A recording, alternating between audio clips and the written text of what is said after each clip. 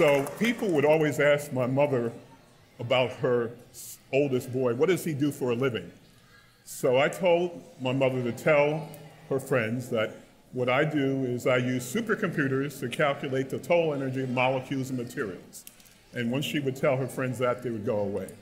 So this afternoon, I'm going to tell you about some exciting work, what I do for a living. I use supercomputers to design materials. They're super materials, and they have lots of interesting, important applications. One application would be for medicine. Other applications would be solving problems in the environment. And I'm going to focus primarily in my talk on applications in the electronics industry. Now, I did not wake up last week worrying about how to solve problems using supercomputers. I got started many, many years ago. I grew up in Bedford Stuyvesant, Brooklyn, grew up in the projects on the fifth floor.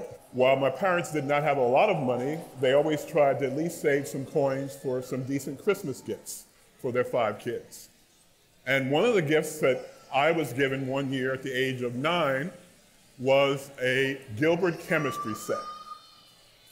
So this is a kit that has all kinds of chemicals in it. Some of them you can do minor explosions with. Uh, my parents were sort of reasonable in letting me play with this and not burning down the kitchen. And I want to hear this uh, forum here remind you of an experiment and also remind myself of an experiment that I actually did 57 years ago. So these experiments that I'm going to talk about, you can get use just household items, ammonia, vinegar, and there's actually a magical powder that you can get from the Gilbert chemistry set. They are dissolved in these two liquids, which are clear. Which are clear. And what I'm going to do is pour these liquids into an empty beaker and lo and behold, I get a new solution that is magenta or purple in color. I'm going to take this final solution, again, which is purple, and I'm going to pour it into a beaker, and you may or may not be able to see this, but there's some liquid at the bottom of this beaker, a little bit of liquid, but it's clear. So if I pour this purple solution into this beaker with a little bit, I see magic all of a sudden the purple becomes clear. And I thought that was the coolest thing in the world at the age of nine. As I did more experiments with my chemistry set, it dawned upon me that I had no idea why these reactions did what they did. This was not magic. There had to be some reason why these solutions turned colors. And that got me to think that beyond looking at these solutions, there had to be something inside them that made them do what they did. And I learned, probably at the age of 11 or 12, that these liquids were made of atoms and molecules. These same atoms and molecules are in solids, and they help explain the reason why if you take a piece of glass and you drop it on the ground, it breaks. But if you take a piece of steel and drop, drop it, it doesn't break. If you take a piece of copper, it conducts electricity very well, but a piece of iron does not. So in going from doing these chemical experiments of mixing chemicals together, it became clear to me that I needed to understand what molecules were, what atoms were, and how they worked. So I was fortunate enough to get a National Achievement Scholarship to go to college at Columbia University, and I immediately plunged into studying chemistry because I thought chemistry was the coolest thing to do. When I got to college, I sort of had a crisis of faith. The crisis of faith was that I had been taught up to then that the atom was an object where you had electrons that are negatively charged rotating around a nucleus, which is positively charged. And you probably have seen, or you can go buy in the museum, t shirts with this model. So if you go grab anybody on the street and ask them, what does an atom look like? this is what they'll tell you. So when I got to Columbia, I had a crisis. I was told that this model for an atom is completely wrong. It does not follow from the laws of classical physics, and I'm going to explain that to you without writing down any equations. So you know from the laws of classical physics two things. One, that like charges repel and unlike charges attract. You can do that with bar magnets. So if you take those rules and apply it to this atom, you immediately see you have a problem. These electrons are negatively charged. The protons are positively charged in the nucleus, unlike charges attract. So this carbon atom should basically be in a situation where the electrons will just collapse into the nucleus. They want to be attracted to the protons that are positively charged. There's another problem the nucleus. The nucleus has protons and neutrons in it. Neutrons have no charge, protons have charge. So you're asking all these protons to stick next to each other, even though they're positively charged. They want to repel each other. So this carbon atom, if you believe the laws of classical physics, will both explode and implode. And it's not just carbon, it's for hydrogen, it's for calcium, and all of you are made of elements like nitrogen, oxygen, carbon. If you believed in the laws of classical physics, you'd vanish in femtoseconds. You wouldn't be here. So one of the things I learned in college was that the laws of classical physics work for describing how an airplane flies, how volcanoes work, how we can send the next woman to Mars, but they're not going to explain how atoms and molecules work. You have to use a whole new set of rules called quantum physics. They are difficult, hard, complex. I don't know who I feel more sorry for the students in the classroom listening to the lecture or whoever has to clean this blackboard after the lecture is finished. So, quantum physics is bad news and good news. The bad news is quantum physics is a very complicated mathematical science and it uses deep theoretical physics. The good news is it works. It helps us understand how and why atoms and molecules do what they're supposed to do. So here's an example of a molecule that we're all familiar with. It's a methane, it's flammable, it's a gas. It has 10 electrons, 10 protons, and 6 neutrons you've got to treat all these 26 particles not classically but quantum mechanically.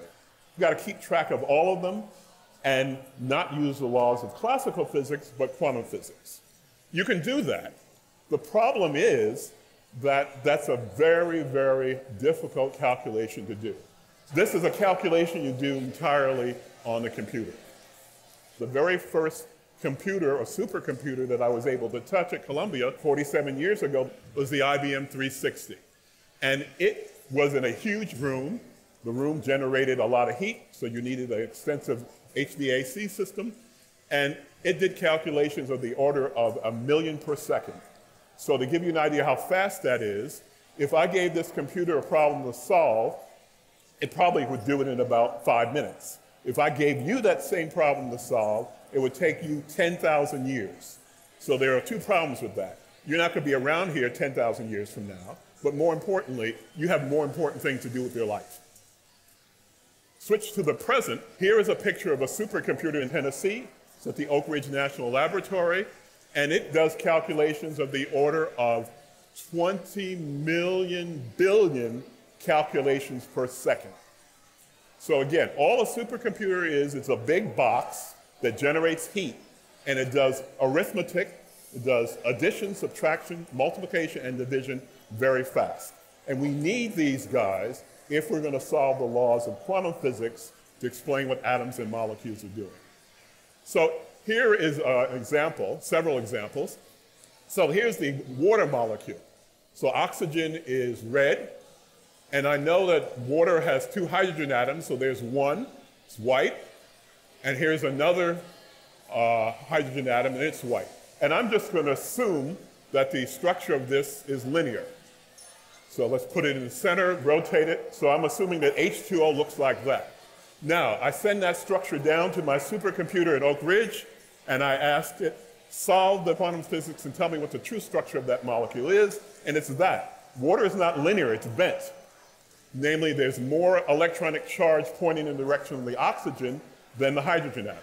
That's important because that says that water has a dipole moment. You can dissolve uh, lots of things in water. We all are made of water. This makes life on the planet uh, interesting and important. Here's another molecule, carbon dioxide. We breathe in oxygen, we exhale carbon dioxide. If we said that water was bent, maybe carbon dioxide is bent. So the red atoms are oxygen, the gray is carbon. We're just guessing an initial structure for this. It's in the plane.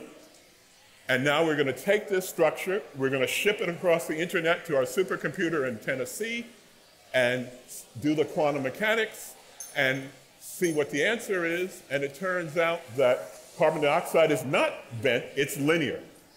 This has an important implication. Carbon dioxide is going to be a gas at room temperature. It doesn't have a dipole moment. So again, carbon dioxide is produced by living creatures. Fortunately, plants take that carbon dioxide, turn it into oxygen, but we're generating too much carbon dioxide in the atmosphere, so that's a problem in environmental science. Third application, let me ask what would a molecule look like if it had eight carbon atoms, there are four of them, and eight hydrogen atoms. And I'm just going to guess what the structure is. So that's five. Those bonds I'm drawing between the atoms. And again, I'm not putting this in any particular geometric arrangement. Let's see, four, five, six, seven.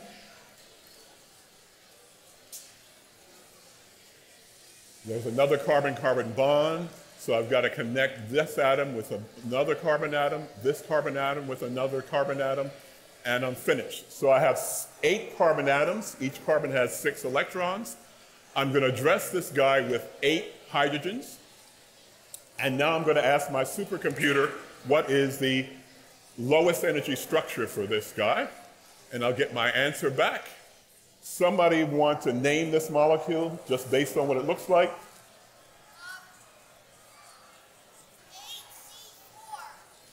What, what shape does it have? Right. So the molecule has a name, it's called cubane, and it's a molecule I actually worked on about 20 years ago. It's very stiff, but has lots of high energy. We think we can use it to put in gasoline as a fuel additive, and we think it's a good replacement for using TNT to build tunnels in cities and surrounding areas. Okay, here's an interesting molecule that looks like a tadpole. So there's a head and a tail. And if you look at the head, it should look familiar to you because the head looks like cubane. There are the eight carbon atoms that are gray. There are at least seven white hydrogen atoms. And I've replaced one of those hydrogen atoms at the corner with a tail of other atoms. The uh, red atoms are oxygen, the blue atoms are nitrogen. This thing has 16 carbon atoms, 22 hydrogen atoms, two nitrogen atoms, and three oxygen atoms. So why is this molecule important? This molecule was just made six months ago by some researchers in Australia, and it turns out this molecule has been shown to have some effects at treating cancer, a particular type of cancer, lymphoma. So after I give this talk, I'm running back to my lab to sit down and put this computer, this molecule in my supercomputer to calculate more properties of it. I want to know what happens to this molecule when you expose it to light. Are there ways to improve it so it's a better way to treat cancer and fight certain types of lymphoma? And again, this is a calculation you do not by mixing chemicals together, but just by doing it entirely on the computer. I have discussed using two or three or four elements from the periodic table, and I've shown you can make simple molecules. What do you have to do if you want to make more complicated materials? Let's say you want to make a material that's super strong, or material that conducts electricity very well, or material that's transparent. Well, one approach is to just take some of these elements from the periodic table and mix them together and see what you get, and then go measure its properties. And you can do that, you're invited to do that. The problem is that's going to take you thousands and thousands of years, okay? Because you have no roadmap as to how you're going to develop a material that has a particular property. What I do for a living, what other people do for a living is we do the experiments not in real life by mixing the elements together. We mix the elements together on a supercomputer. And then we trust the laws of quantum physics to give us the right answer. So again, I'm not interested in, I don't work particularly in drug design or uh, climate change, but I am worried about problems in the electronics industry. This machine, if you break it apart, eventually you'll find circuits and if you break those circuits down even further, you'll find the element silicon. Silicon has 14 electrons, and it is the reason why our cell phones work. It's actually the reason why computers work also. Now, the problem is that years from now, they will probably want to sell you a iPhone 20. but that iPhone 20 will not work using silicon technology. It's just too slow. There's a limit to how many transistors we can put in an iPhone, and we're reaching that limit very quickly. So we have to discover new materials that go beyond silicon that we can use not only for our cell phones, but also for computers. Here you see a supercomputer, and it has a Chinese symbol on it, and it turns out to be the fastest supercomputer on the planet as of today. Now, I don't have access to it, but you can imagine using this machine for lots of important applications. Uh, forecasting the weather, designing new materials, designing new drugs. And that particular supercomputer works about five times faster than the supercomputer I showed you in Oak Ridge National Laboratory in Tennessee. So the good news, is we've got a machine that can tackle these problems. The bad news is, at least from the perspective of the United States, is we've fallen behind in the race for building the fastest supercomputer. We're going to need these tools to do science. Again, one of the things I don't do anymore is mix chemicals in the lab. I'm tired of getting sulfuric acid burn and splotches on my coat. I do experiments on a supercomputer, and I'm trying to find the next set of new materials we can use to make major changes in the communications industry and, for that matter, the computer industry. Thanks very much for your attention.